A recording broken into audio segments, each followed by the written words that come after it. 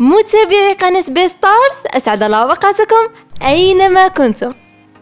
الشابة يمينة وبعد أن أثارت ضجة بنزعها الحجاب ها هي الأخيرة تعلن إصابتها بفيروس كوفيد 19 وكشفت عبر تصريح لها شعرت بتعب شديد يوم العيد توجهت للطبيب ووصف لي بعض الأدوية. قمت بتحليل PCR لكن النتيجة ظهرت سلبية والبارحة توجهت لمصلحة الكشف عن طريق جهاز سكانر لتتأكد إصابتي بالفيروس بنسبة 25% وأضافت أنا أعاني والمرض صعب جدا متواجدة ببيتي حاليا وأخضع لمتابعة طبية وحجر صحي.